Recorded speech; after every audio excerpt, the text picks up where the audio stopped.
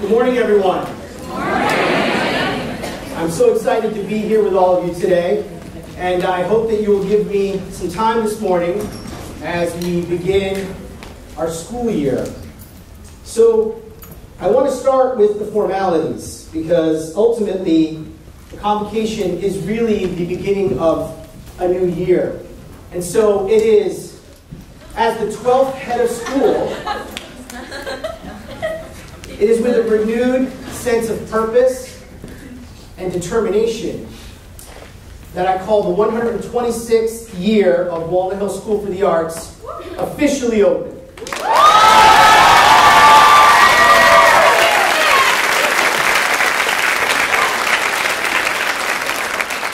So, this morning I want to talk to you first about what a convocation is. Because ultimately, that's why we're here. And some of you may not know this term. It may be the first time that you're hearing it.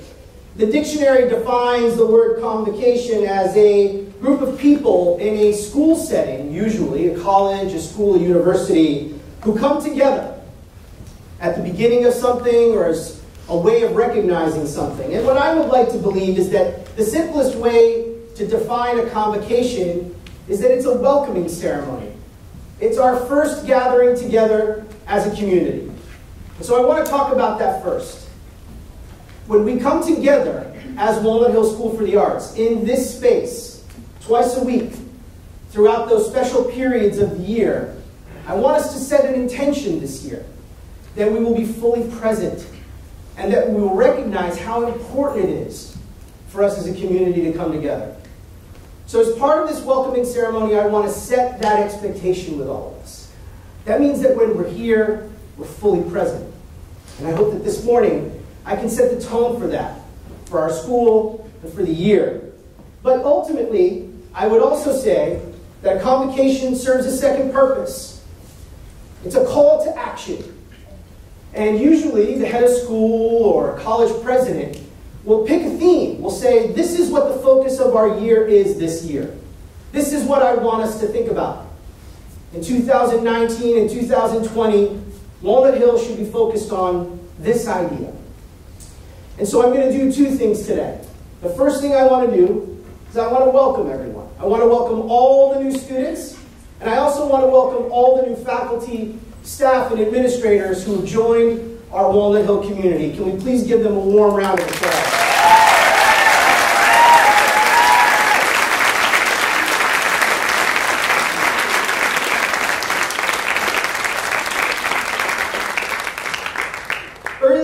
week, I had the to welcome our new international students, and I'm looking forward to meeting all our new students. If you're new to Walnut Hill, we welcome you. We welcome you as you are. You are a special member of this community, and we feel privileged to have you here. But I want to spend the bulk of my morning today talking about our call to action. What is the focus and theme of this year? I thought a lot about that over the course of the summer, and I remember that last year my theme was gratitude, and I looked at moments throughout the year to see if I could find examples of whether or not that message had resonated with our community. And I looked at moments and I thought about when I heard students or faculty talk about that term, gratitude, and I felt that was a good, that was a good theme last year. So what should we focus on this year? And so, as part of that, I decided that we should focus on this. So, for those of you who don't know, Non Nobis Solum is the motto of Walnut Hill. It is an important phrase, it's an important statement. And in English, it translates to not for ourselves alone. That is our motto. Not for ourselves alone. And when I started thinking about this talk this morning, this convocation, I did what all of you probably would do, which is I thought, I wonder what will happen if I Google, not for yourselves alone. Not for ourselves alone. What happens if I Google it? The first thing that pops up is this.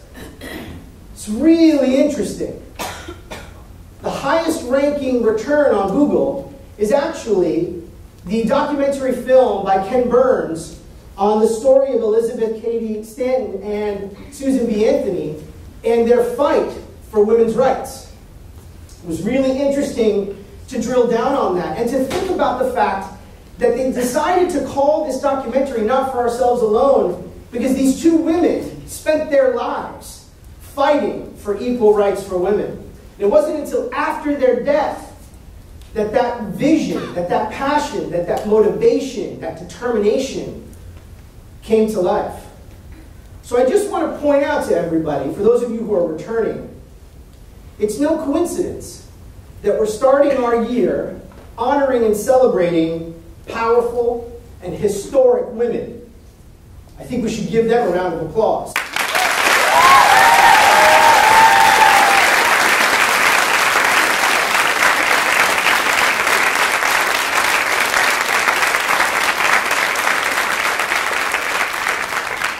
So this is part of our story.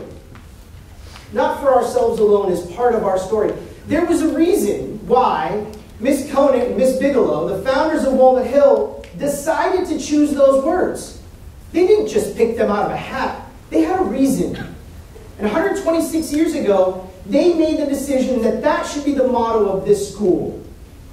But I want to take you a little further back because what you may not know is that the origin of the term non nobis solum is actually credited to the Roman philosopher Cicero.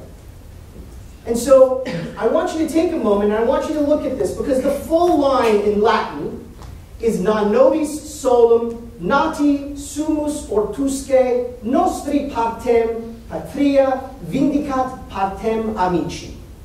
Which means, not for ourselves alone are we born. Our country, our friends have a share in us. So when you look at the it starts to take a much deeper meaning. And so I want you to pause for a moment, because I'm sure some of you are saying right now, Mr. Viva, why is this important? It's the first day of school, and you are asking us to think about some old dead Roman guy. What is that all about? Why is this important? Well, so here's the question I think we should be asking. I think the question we should be asking is how is this statement, non nobis solum, not for ourselves alone, relevant today? How has it withstood the test of time? In what ways should we be thinking about those words at Walnut Hill? So, I thought about that. I said, what might be the way we want to think about that? Why is it important? And this is what I came up with. It's actually quite simple. The reason why this is important, the reason why this is relevant, is because we share one planet. All of us call this planet our home. It doesn't matter where you're from. It doesn't matter where you grew up. We share one celestial body as our home.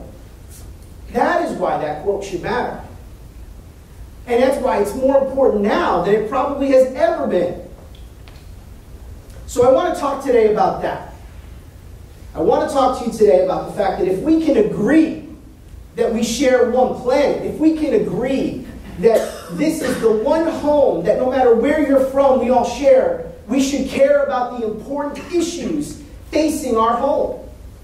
We should pay attention to the issues facing our global home, our planet.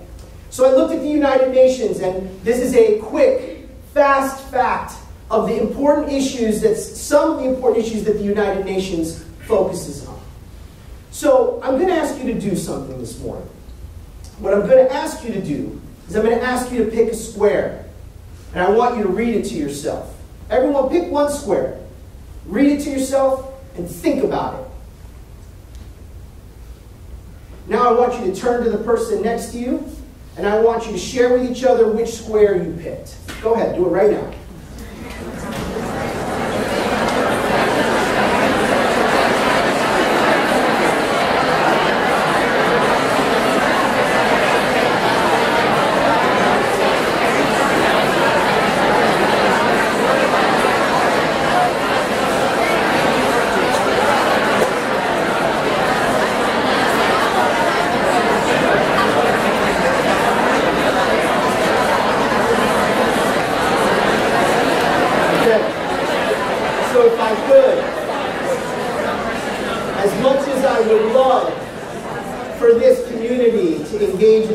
Conversation this morning. I unfortunately don't have enough time to do that today. But did you hear the energy in that room? Did you hear the energy in this room as, we, as you just shared that one thing you picked? And it would be easy for me as head of school to say, the issues on this screen right now, it would be easy for me to say, well, you know what? That lives in the academic program. These are academic issues. This is where that work lives. And it could, and it should. But what I'm more curious about is how are artists dealing with these questions? What are artists doing? And how are artists responding to these issues? And if I had time today, I would share a variety of artists with you, but I have only time to share one. One artist. And it just so happens that this artist is someone that I happen to know personally, who is a close friend of the Walnut Hill community. He is a Chinese artist by the name of Xu Bing. Zhu has presented his work. Yeah, exactly. He's presented his work at the Museum of Modern Art in New York, the Metropolitan Museum of Art, the Guggenheim, all over the world. He was as close to us as Mass MoCA. He was at RISD in the spring. And I've had the opportunity to meet Xu several times. He and I have had meals together. I have had an opportunity to visit his studio and had a chance to really talk to him about what inspires him as an artist. And what you see here is really interesting is that this is a piece from his background story series. Okay? So for those of you who may not be familiar, this is what looks like a very traditional Chinese landscape ink drawing, right?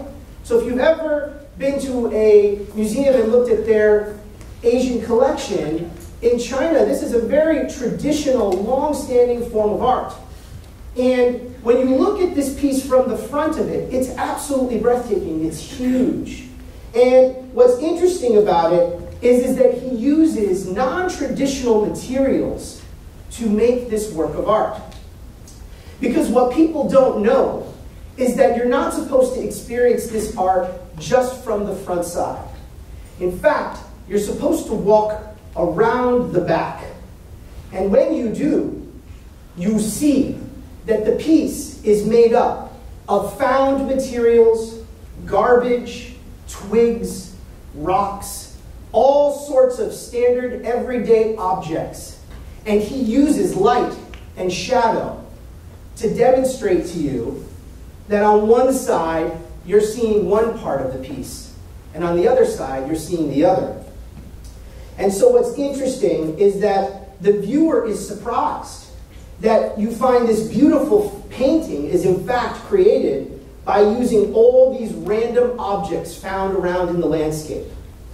And he challenges his audience and says to them, challenge your basic assumptions everything is not what it seems. So he's bringing to light something using his art, while at the same time making something beautiful. The piece that speaks to me the most, though, is this piece. And um, it's interesting because uh, I happen to have a deep connection to the mythical creature, the phoenix. All of you know the phoenix, right?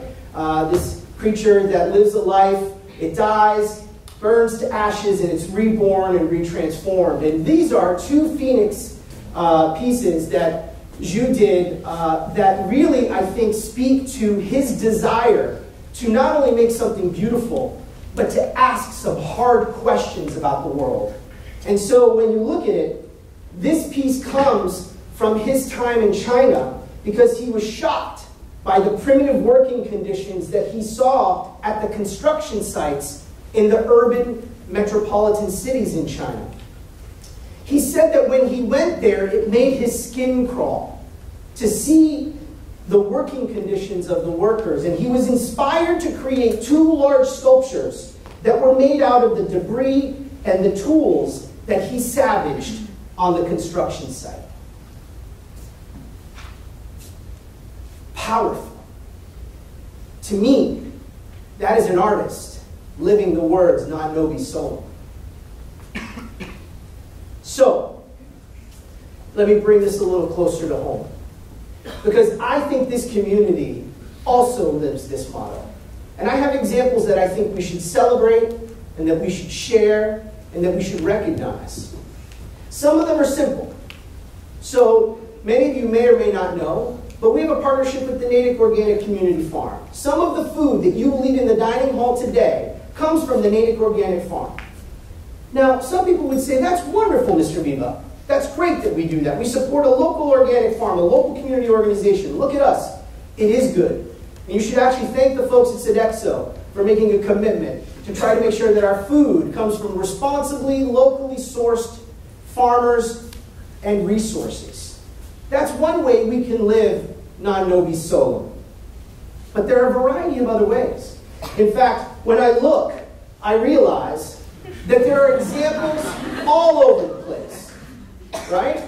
In fact, we live the words not for ourselves alone when we leave campus and we perform for the community. When we put art outside so that people who don't have access to the inside of Walnut Hill still get to experience art. We live it when we go to places that have historic significance and try to find new stories that need to be told.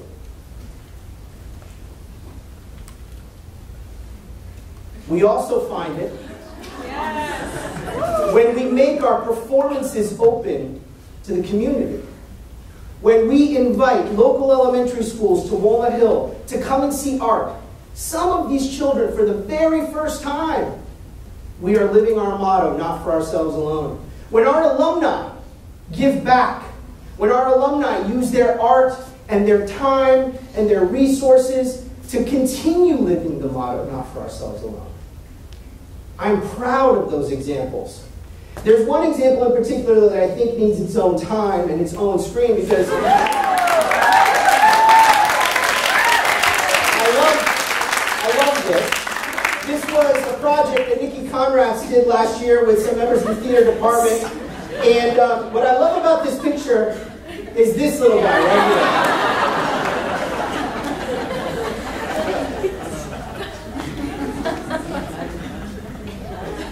Not for ourselves alone, ladies and gentlemen. That little boy, the smile on that little boy's face says everything. says absolutely everything. I don't think that there is an award or a recognition that can be more powerful to an artist than seeing a smile like that. So, I am proud of this community. We do live this model. But I don't think it's enough. I don't think we should be comfortable with what we've done so far. And I want you to probably think for a moment. You're saying, Mr. Viva, where do we begin? You gave us these squares where you asked us to think about these big global issues. How are we supposed to know where we're supposed to begin? Well, let me say something, and let me be provocative this morning. I'm sick and tired of politicians in this country complaining and arguing about important issues and doing nothing about it.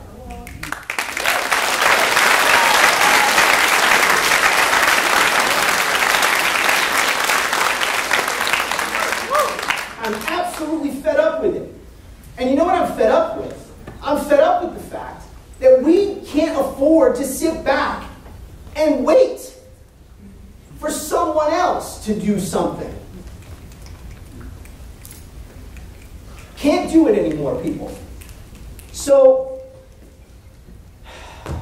I want you to think about the square you read. Because it's important.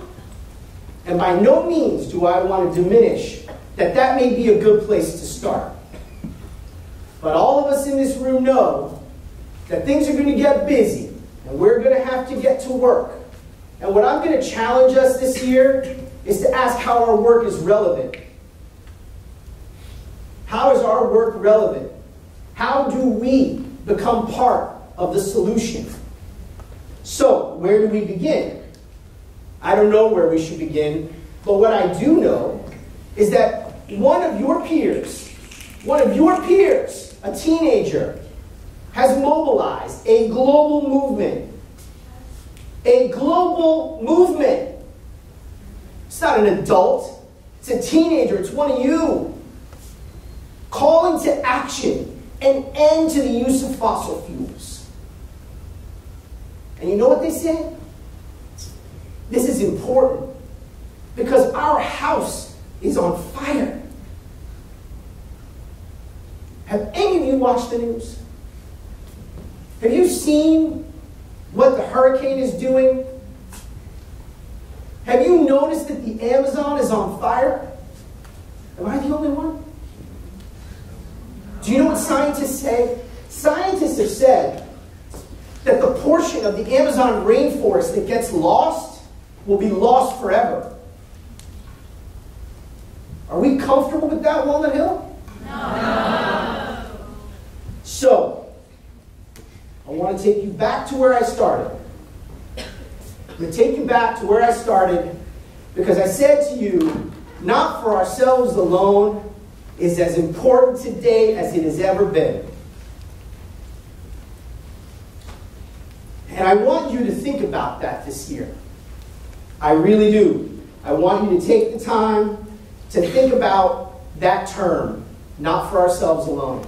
This year can't just be about ourselves. This year can't just be about me. It needs to be about we. We are Walnut Hill School for the Arts. This is part of our story, too. So,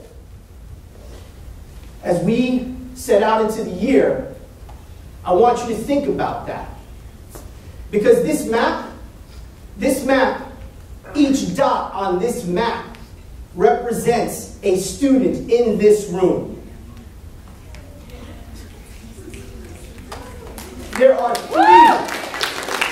There are three, three continents, three continents reflected on this map. The global community is here. The world is gathered here, ladies and gentlemen. So I want you to think. I want to charge us this year to ask how we are going to respond to the most pressing and important issues of our time. How is our work relevant? For the adults in the community, I know I've had conversations with you. We are all fed up with the inaction that we see around us. I am fed up with the inaction I see. The leaders that have been elected in this country have failed us. It doesn't matter whether they're Republicans or Democrats. What are we going to do about it? What position are we going to take? Because here's what I will say to you we are a global community, and this is our home. So this year, I don't want you to just ask, what does this mean for ourselves? We have to ask the question, what does this mean for our school? What does this mean for our community? And what does this mean for our world? I'm so deeply privileged to be your head of school. And I appreciate your attention this morning. Thank you very, very much.